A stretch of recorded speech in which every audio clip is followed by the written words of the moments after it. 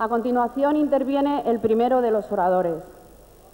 Lleva más de 35 años en la vida política, fundador de Fuerza Nueva y del Frente Nacional. Fue procurador en Cortes y consejero nacional del movimiento bajo la designación directa de Francisco Franco. Diputado en el Congreso por Unión Nacional en el momento en el que el entendimiento en las distintas fuerzas políticas de signo nacional fue posible.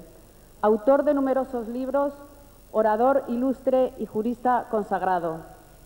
A lo largo de todos estos años, con tesón y constancia, se ha mantenido fiel al propósito de servir a un ideal. Por el Frente Español, con todos nosotros, Blas Piñar.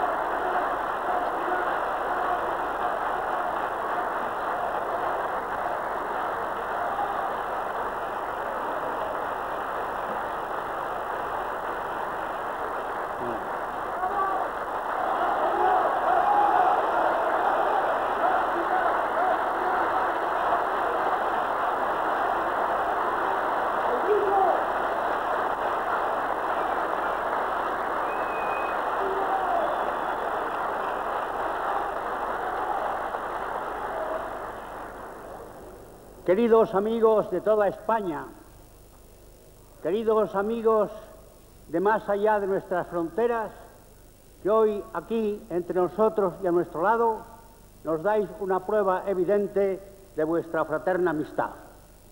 Pero antes de entrar en materia, quiero pediros a todos un aplauso entusiasta y fervoroso para esos jóvenes que se integrarán el día de mañana en el frente español durante varios días y noches, con frío, cinco bajo cero, hasta altas horas de la madrugada, estuvieron pegando los anuncios que nos convocaban para el acto que aquí nos congregan.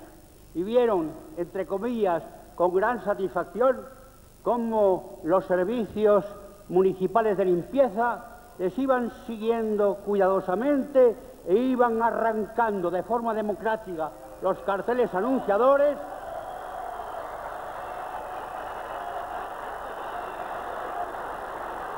sin duda para recogerlos con todo mimo y el día de mañana exhibirlos como auténticas joyas en las vitrinas de un museo consistorial.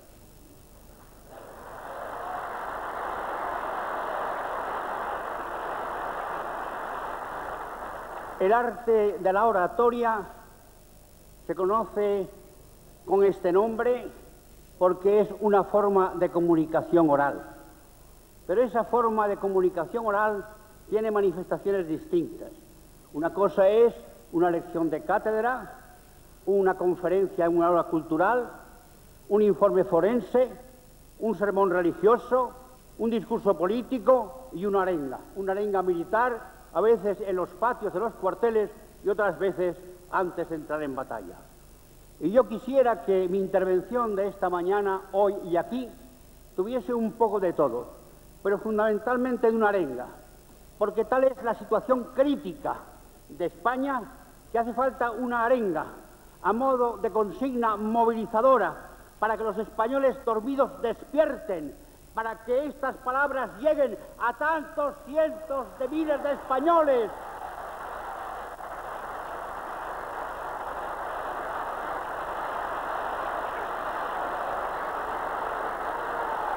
Tantos cientos de miles de españoles que son de los nuestros, pero que no están con nosotros. Y especialmente aquellos buenos españoles que manipulados, engañados o se dieron a la presión insistente, terca, del voto útil, de la economía del voto y del mal menor, con lo cual han conseguido no solamente que no llegue el mal mayor, sino que se han traído el mal absoluto. Porque pregunto, ¿acaso no es un mal absoluto que los católicos españoles con su voto hayan apoyado y fortalecido una política degradante que está arrancando la fe cristiana del pueblo español, que está paganizando y odizando a las gentes de España.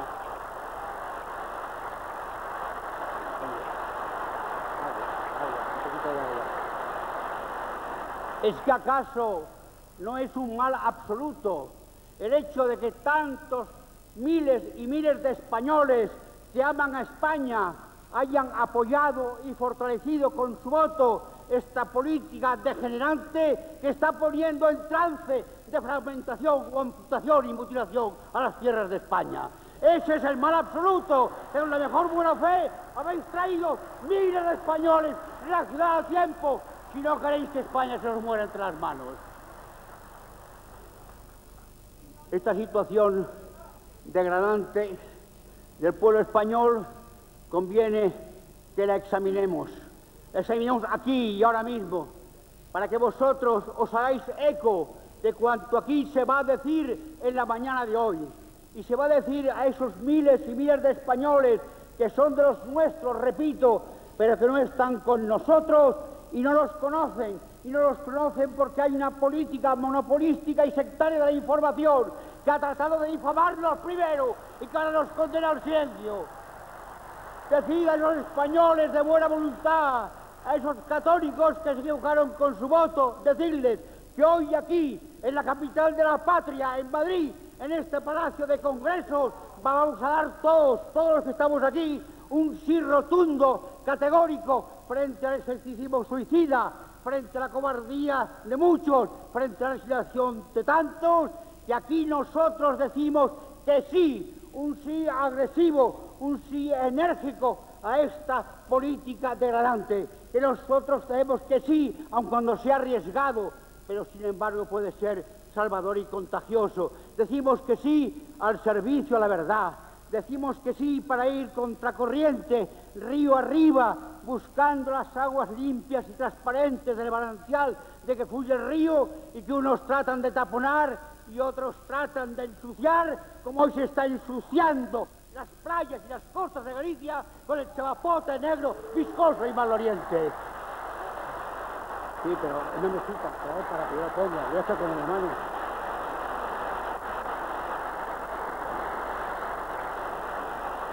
Nosotros, a los que ante esta situación dramática de nuestra patria dicen, yo ya estoy cansado, yo me resigno, yo no tengo ya nada absolutamente que hacer. Nosotros contestamos con unos versos preciosos de José María Peón. La virtud más eminente es la de hacer sencillamente lo que tenemos que hacer.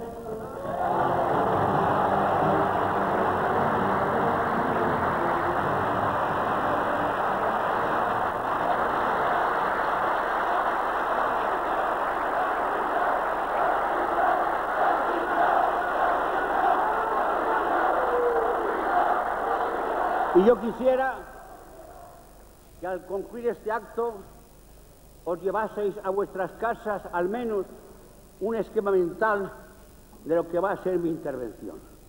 Vamos a examinar lo siguiente. Primero, los símbolos de la patria. En segundo lugar, vamos a examinar la teología de esta patria nuestra que es España. Vamos a ver cuáles son los fundamentos de la política que propugnamos, cuál es el alcance de esta convocatoria y las razones que justifican este lanzamiento a la opinión pública española. Símbolos de la nación, símbolos de la patria. Dos, fundamentalmente, la bandera y el himno. Identifican la patria, una patria que está por encima de los partidos, por encima de los sindicatos, por encima de las regiones y por encima de las clases. Por eso aquí enarbolamos fundamentalmente en un futuro frente español una sola bandera, la bandera de España, la bandera roja igualda, la bandera nacional.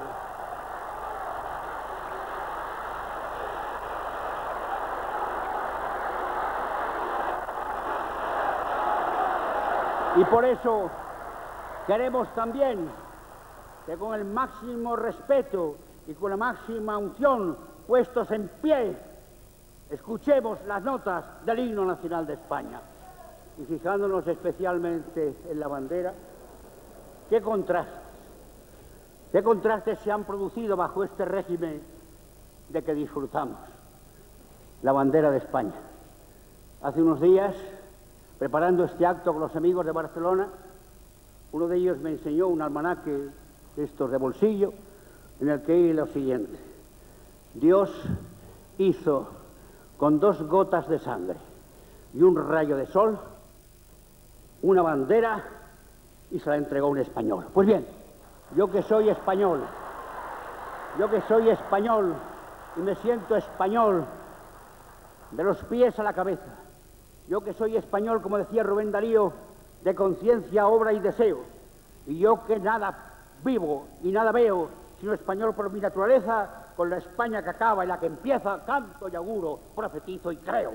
Y quizá por esto me vino a la memoria una poesía que yo recité siendo muy niño en mi colegio con motivo de una fiesta de familia. Yo enarbolaba una bandera y la poesía decía así, salve bandera gloriosa, salve emblema de la patria, paraíso de horizontes, recogimiento de esperanzas. Tú tienes, porque Dios te hizo en las calles y las plazas, como un regalo de flores que brotan cuando tú pasas, por solio al pedestal del cielo y por apoyo el suelo de nuestras almas.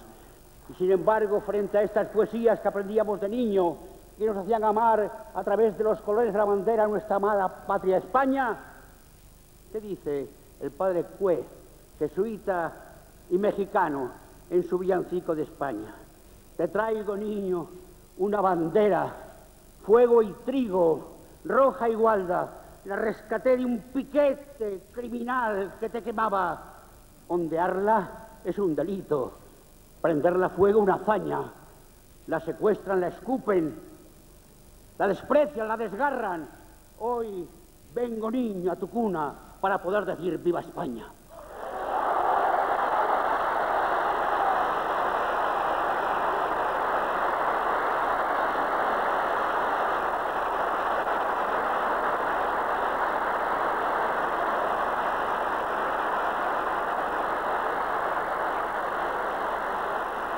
Teología de la patria. Estamos llegando, amigos, a las últimas consecuencias de la tesis contractualista y voluntarista de Juan Jacobo Rousseau.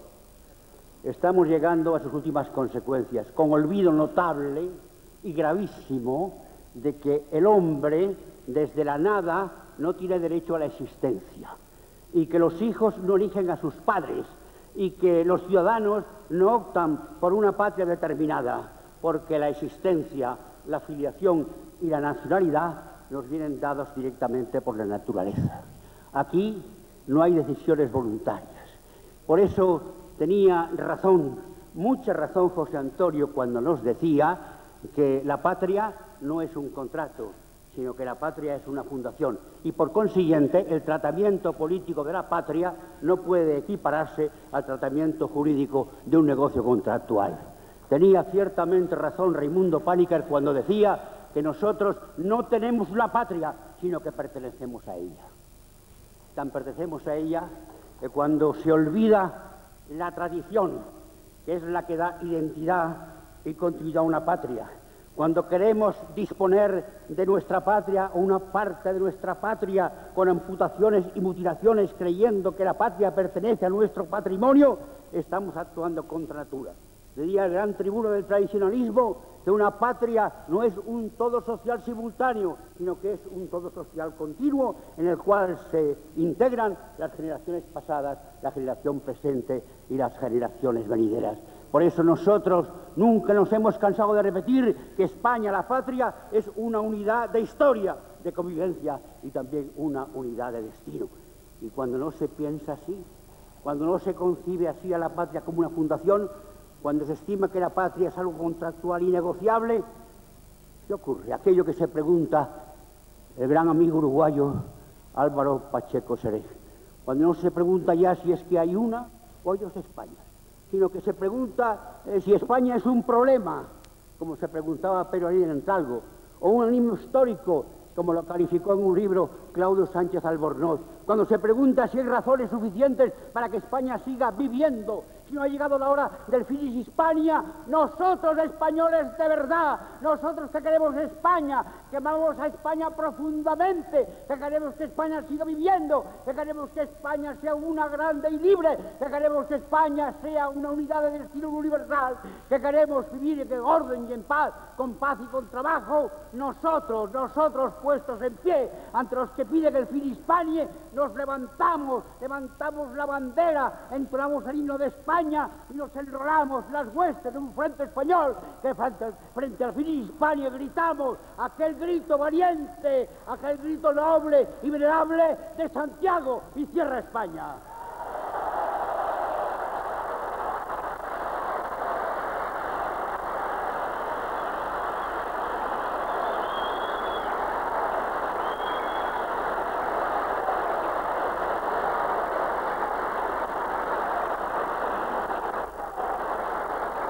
Decía, decía el Papa San León XIII que Dios es el autor de la patria.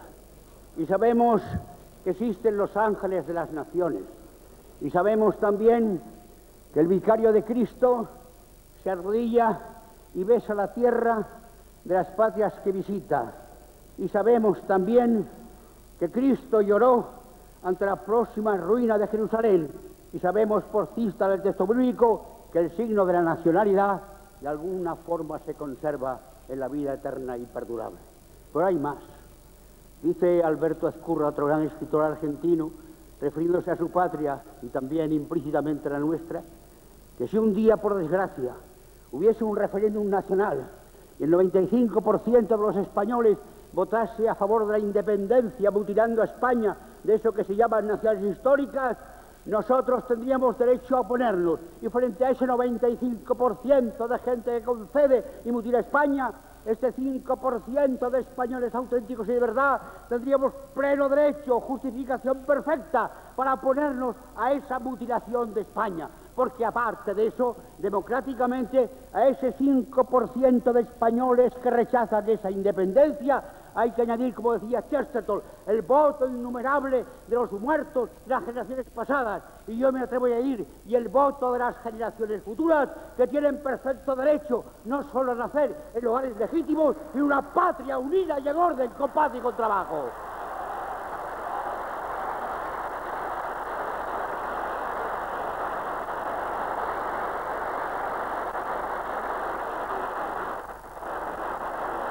Y ahora los fundamentos de la política.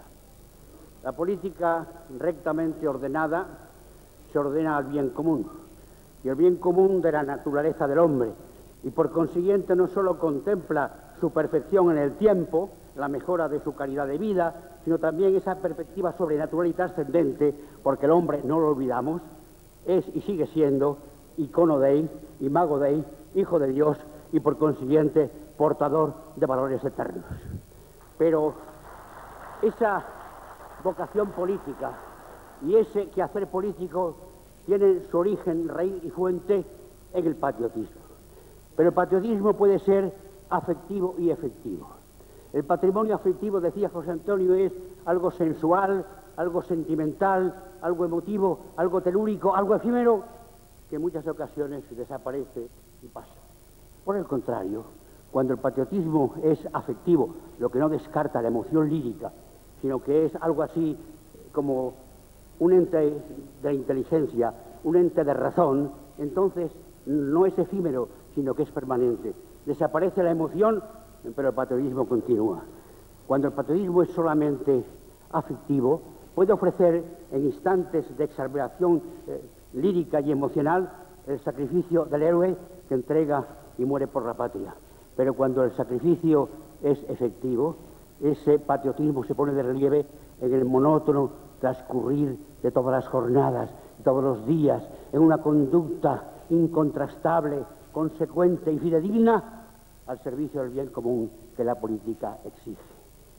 La diferencia entre el patriotismo afectivo y el efectivo no está solo en cuanto acabo de decir.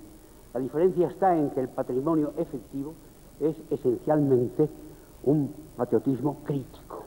Crítico no para avergonzarnos de España, sino al contrario, para entregarnos de forma creciente al servicio de nuestra patria. Hoy España, evidentemente, a los que estamos aquí, estoy seguro que no nos gusta. No puede gustarnos una España que está enferma, que está herida, que está maltratada, que está onnubilada, que está amnésica, que está frívola, que está, me atrevo a decir, que agonizante. No nos gusta. Pero así como cuando nuestra madre está enferma, nuestro hijo está a punto de morir, no huimos, no nos fugamos, sino que estamos presentes cuidándolo para que madre o hijo recobre la salud, así cuando vemos esta España que no nos gusta, agónica y en trance de muerte, los buenos españoles nos dicen, me da asco de ser español, lo he oído tantas veces, al contrario, más españoles que nunca, más al lado de España.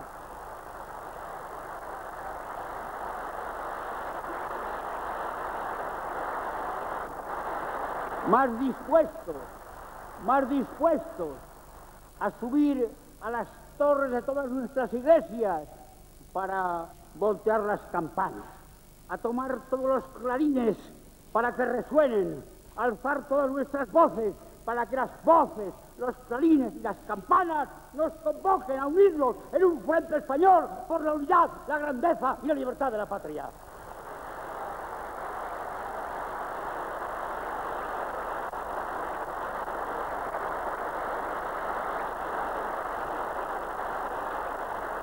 Y hablamos del patriotismo pues hemos hablado de la teología de la patria. Y el patriotismo, el patriotismo, hemos dicho, puede ser afectivo, efectivo y crítico. Pero el patriotismo es, en línea ascendente, un deber. En segundo lugar, es una tendencia natural del hombre bien nacido.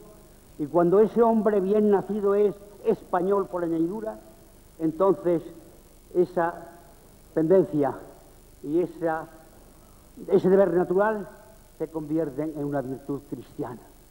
La virtud cristiana del patriotismo, que Santo Tomás de Aquino enlazaba con la pietas, como San Agustín la enlazaba con la caritas, con un amor de perfección con respecto a España.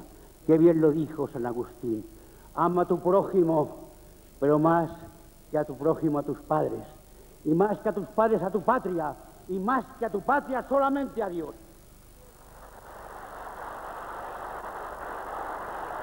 Por eso, nosotros, los que un día militamos en Fuerza Nueva, siempre hemos servido a la patria con este amor de perfección que nace de la Caritas. Por eso nosotros, que seguimos fieles y seguiremos siendo Dios mediante a esta noción cristiana del, del patriotismo, decimos que no, un rotundo no, al culto idolátrico a la patria, no solamente porque nosotros no queremos nada sin Dios, sino porque entendemos que para ser patriota, sin ser necesario ser cristiano, practicante del cristianismo, basta solamente esto según la doctrina moral de la Iglesia. Primero, en este caso, ser español. Segundo, sentirse español. Tercero, atenerse a las exigencias más urgentes y natural y por consiguiente nadie podrá pertenecer a este frente español adulterándolo cuando viole las exigencias fundamentales de esa ley natural. Por ejemplo, quien quisiera equiparar al matrimonio legítimo las parejas de hecho llamadas sentimentales que no son matrimonios.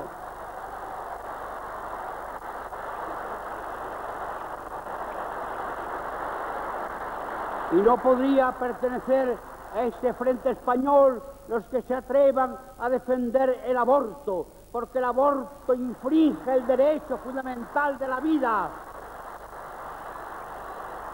porque no solo supone un homicidio contra un ser pequeño e indefenso, sino que según el Concilio Vaticano es un crimen absolutamente abominable.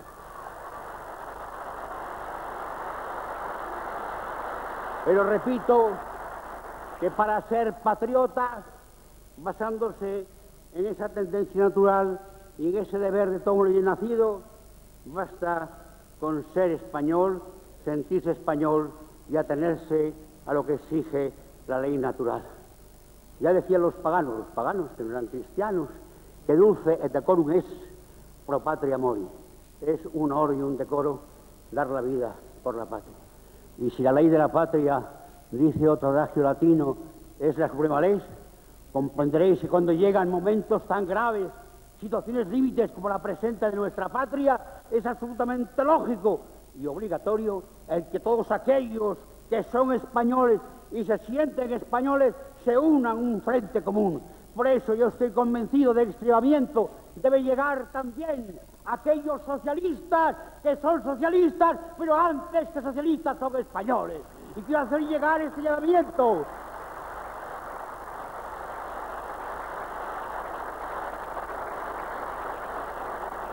A tanto español de buena voluntad, militantes o votantes del centro reformista, antiguos demócratas cristianos, a todos ellos que son por encima de populistas españoles, a los empresarios españoles, a los obreros y trabajadores de España, a unirnos en un frente común para salvar la unidad y la grandeza de la patria.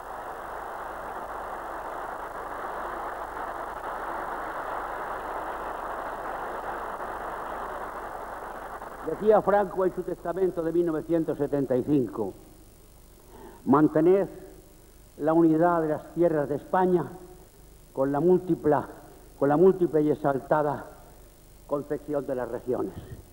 Pero esto fue en 1975. Es que Emilio Castelar, uno de los presidentes de la Primera República, decía en el Parlamento en 1873, yo soy español yo amo profundamente a España. Y amo a España más que a la libertad, más que a la república y más que la democracia. Y con todas mis fuerzas me pondré a que la más pequeña parte, la mínima parte del territorio español sea desgarrado de España. Yo quiero entregar a los hijos que han de venir de España una España unida en una auténtica y verdadera nación. Yo podría traer aquí a colación lo que han dicho sobre la patria muchas de las personas destacadas de lo que fue la derecha clásica española, pero nuestra opinión pública identifica esa derecha clásica con el patriotismo. Quiero traer a colación aquí y ahora lo que ha dicho una parte de la izquierda española y algunos de los hombres que contribuyeron a esta transición política que ahora tanto les conmueve y asusta. Decía Antonio Zugazahuitia, un prohombre del socialismo, en 1932, poco después de proclamar la República, en un folleto precioso que conservo, esto sí como una joya, que se llama Panfleto Antiseparatista. Este socialista que era antes que socialista español escribió nada menos que lo siguiente. España sobre todo. La República está subordinada a España. El izquierdismo español solo debe querer el auge y la grandeza de nuestra patria. Al socialismo español no le cabe más que dos opciones. O bien pactar, dice así, con el piojoso separatismo sectario y reaccionario o crear una grande y profunda conciencia nacional española. Un socialista. Manuel Azaña, en plena guerra, en plena contienda civil en España, cuando ve el comportamiento del nacionalismo separatista vasco, proclama en un arranque de sinceridad, si estos nacionalistas quieren descuartizar a España, prefiero antes a Francisco Franco.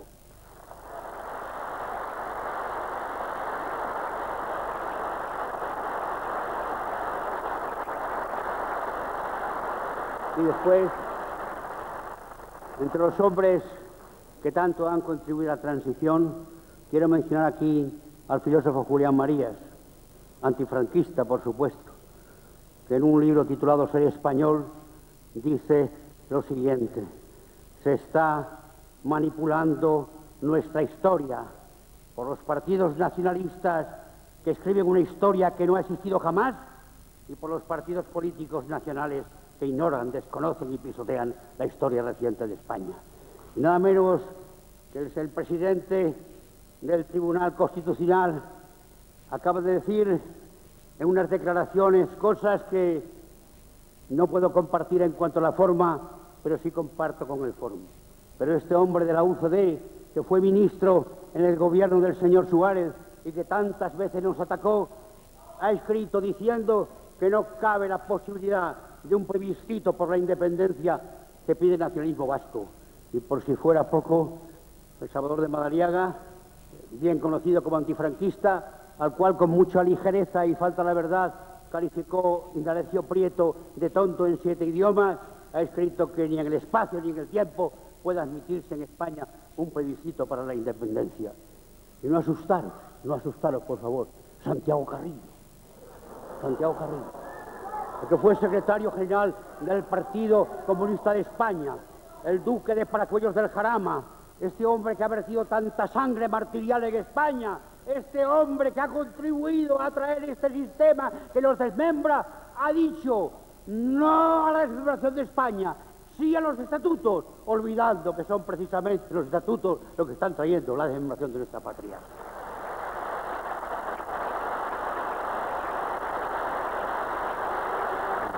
Y concluyo, concluyo con el último, con el último capítulo, que es las razones que justifican este llamamiento a los españoles.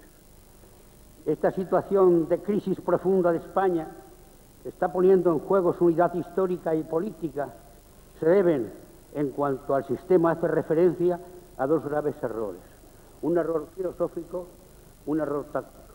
A lo que hay que añadir la corrupción moral, pública y privada y una política internacional absurda.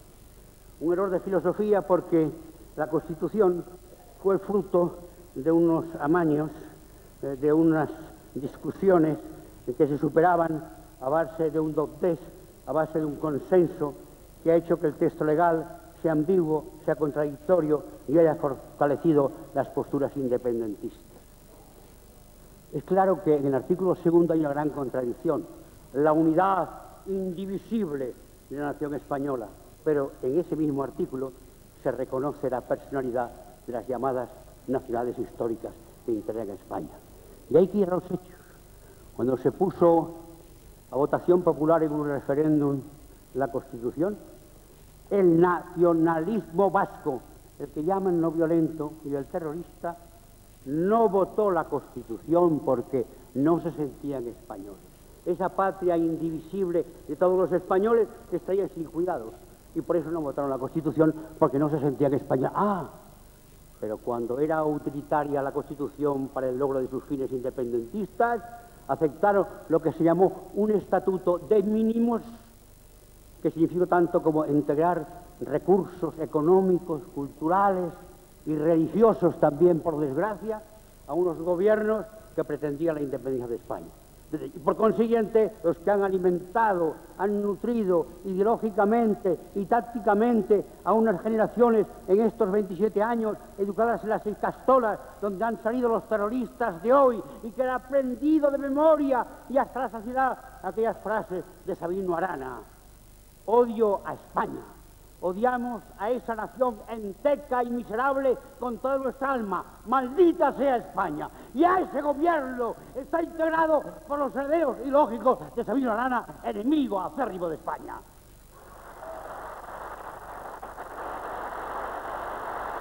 Yo me permití entonces, hablo del año 1978, antes por consiguiente de que se aprobara el 6 de diciembre la Constitución, Decía, han olvidado los partidos del sistema y sus representantes que la Constitución es para España, pero no es España para la Constitución. Y en allí, en aquel mes de mayo del 78, cuando estamos en presencia de un ser enfermo y quizá agonizante, no se redactan constituciones, como no se confeccionan vestidos para los que van a morir. Al que va a morir no se le confecciona un vestido, se le confecciona una mortaja. Pues bien, a los pueblos que van a morir por inanición, por falta de vitalidad colectiva, para esos pueblos no se redactan constituciones, se otorgan testamentos en uno de cuyos párrafos se dice que renunciamos los españoles a seguir funcionando en la historia. El error táctico ha sido que esa política de concesiones que ha alimentado el sentimiento y el pensamiento separatista, ni siquiera por los gobiernos del sistema se han aplicado los artículos de la Constitución que presienten y predicen que en situaciones graves hay que aplicar también medidas graves y excepcionales. Desde las conversaciones de Argel hasta las conversaciones autorizadas expresamente por el señor Aznar, hasta las declaraciones de Arzayus que dijo que los terroristas no eran terroristas, eran gularis, soldados combatientes por la libertad de Euskadi, se ha ido acelerando este proceso desintegrador de España.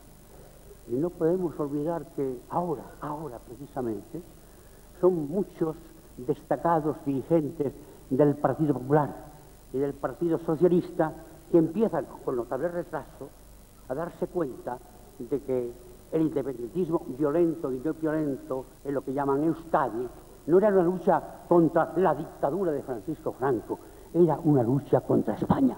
Y cuando las víctimas del terrorismo etarra son los populistas y los socialistas, aquellos combatientes de la libertad son repugnantes asesinos a los que con falta la verdad se dice que son simplemente fascistas. Cabe retorcimiento más del idioma. Llamar fascistas a los que canta la internacional y pide la independencia de España. ¡Qué absurdo!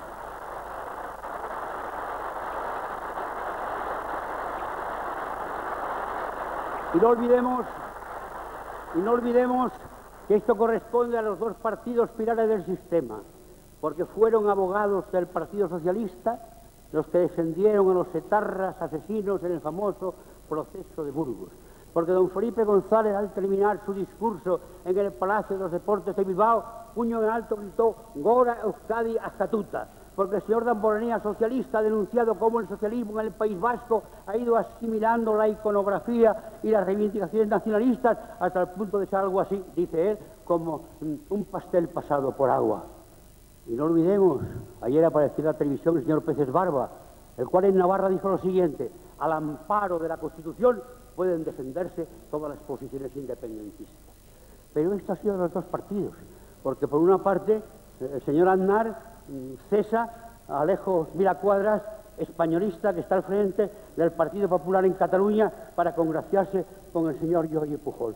Pero después el señor Zapatero cesa a Nicolás Redondo, que será todo lo socialista que quieras, pero que es profundamente español. Y finalmente, don Manuel Fraga Barne, el de los tirantes con la bandera nacional y los españoles, lo importante que ha hecho ha hecho sencillamente que está hablando, que está hablando de un Estado federal asimétrico dice que tiene muchas cosas en común con el señor Arzayus y con el señor Pujol y que está contribuyendo a que el separatismo gallego, que prácticamente no existía, sea hoy con el bloque nacionalista la segunda fuerza política gallega.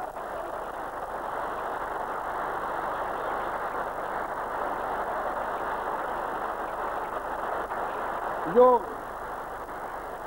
y yo, que comprendo perfectamente que en ese sistema liberal marxista haya discrepancias políticas, evidentemente que las hay, incluso que se aprovechen circunstancias penosas como el naufragio del Prestige para sumar votos en las próximas elecciones, me lo explico, y que se pida, aunque sin éxito, comisión de investigadora en el Parlamento gallego y en el Parlamento de Madrid, lo que ciertamente no pueda comprender, señor Rodríguez Zapatero, es que usted y personas distinguidas del Partido Socialista vayan en primera fila en una manifestación por las calles gallegas entre banderas que piden Galicia Saibe, Galicia Independiente y grandes carteles pidiendo la independencia. Si usted es del Partido Socialista, Obrero y Español, sea usted español y combata el separatismo.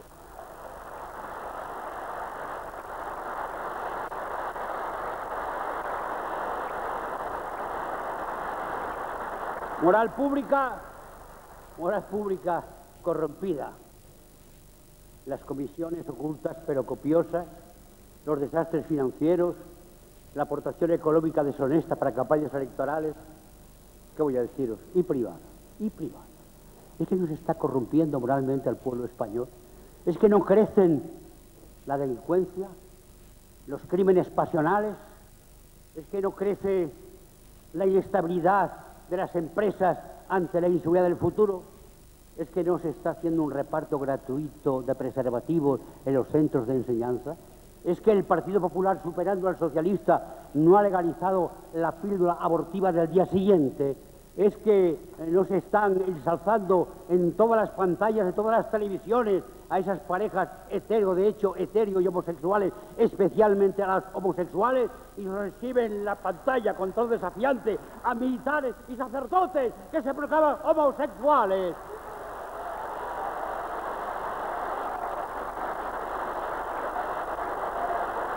Es que, es que para mayor, para mayor índice Ya se ha legalizado no la homosexualidad, que puede ser enferma, sino la práctica y ejercicio de la homosexualidad en los cuarteles de la Guardia Civil.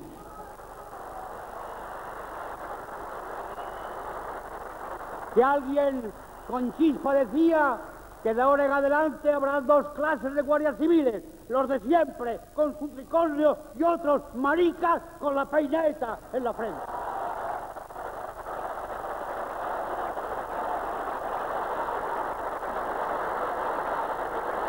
Y coste, y coste que esa legalización de la homosexualidad práctica y ejercicio la han hecho hombres que se llaman cristianos. Este cristianismo absurdo que ha sido condenado recientemente por Roma de los gobernantes católicos. Estos que van a conseguir que en España se construya un Estado desconocido por el ordenamiento político internacional. Hasta ahora, señores, amigos, ha habido estados teocráticos, estados confesionales, estados laicos, estados ateos, estados antiteos. Pero el primer Estado homosexual del planeta va a ser con el Partido Popular, va a ser el Estado español.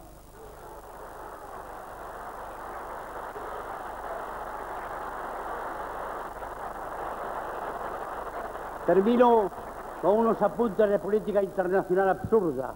Absurda porque estamos al servicio del más fuerte, del más poderoso, del más imperialista de los estados que ha existido en el mundo moderno. Y no solamente el problema de Gibraltar. Hemos jugado a la cosoberanía de la que ya no se habla con los ingleses cuando hay una resolución de la ONU incumplida que ordena su descolonización. ¿Y qué decir del referéndum del Sáhara, que nunca se celebra, también acordado por otra resolución de la ONU que no se cumple ni se obliga a cumplir? Y el contagioso con Marruecos.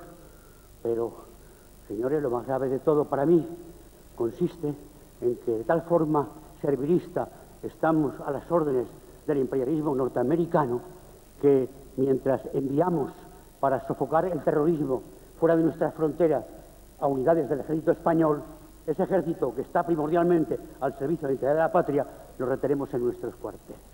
Y ya lo más escandaloso posible es que un barco, un barco de guerra español a las órdenes de esta cooperación internacional que se haya de patrulla en el Océano Índico, descubre la existencia en aquellos bares de un barco mercante, se acerca al barco por una requisa con peligro grave para la tripulación y descubre que bien camuflados hay unos misiles tierra-aire, misiles que según mi información son precisamente de fabricación norteamericana. Y quien da las órdenes dice, no, no, dejen ustedes libre el barco.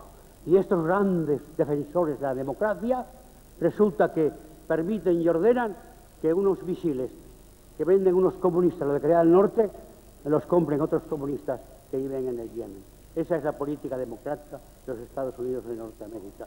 Y ya purantamente nuestro gobierno y su presidente servilmente se ponen a las órdenes foráneas de los Estados Unidos. Hasta el punto de que si hay, Dios no lo quiera, una guerra contra Irak, nosotros vamos a ser sus más cordiales compañeros en la batalla. Pero usted no se da cuenta de que ya el señor Bush no persigue ni quiere encontrar ni habla de Bin Laden.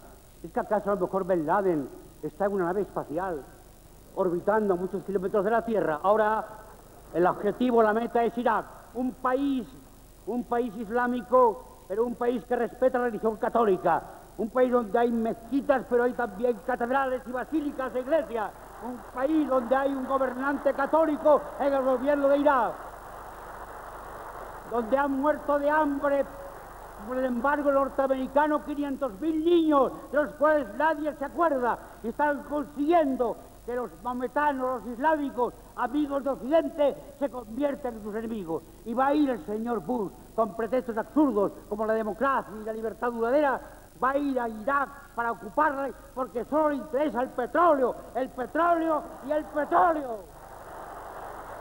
Aun cuando ellos produzca para la humanidad una auténtica hecatombe, como ha dicho, recalcado y repetido Juan Pablo II. Y termino con esta poesía de un gran poeta, quizá desconocido, Alejandro Jaupol, que dice, españoles, volverá mejor que antes a reír una nueva primavera para España. Lo sentimos en el invierno que padecemos, en la noche que presagia la alborada, en las simientes que anuncian las cosechas, en las risas que presienten nuestras lágrimas. Hay que esperar, hay que esperar ardientemente, hay que volcar el corazón la esperanza y con consuelo más grande, si esa espera es por el bien de España.